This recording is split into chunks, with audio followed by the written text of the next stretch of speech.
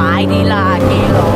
我快你哋又话蹬，我而家就咁嘅速度噶啦，快啲啊！我哋就要蹬，系咪要蹬啊睇下你个人跌唔跌落地。 ？Everybody 系咪要蹬啊？系咪啊？Everybody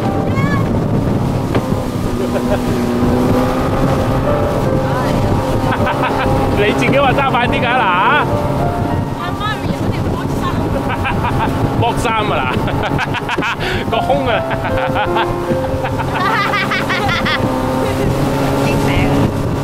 黐線嘅，嚇嚇黐線嘅，腳有冇出血啊仲？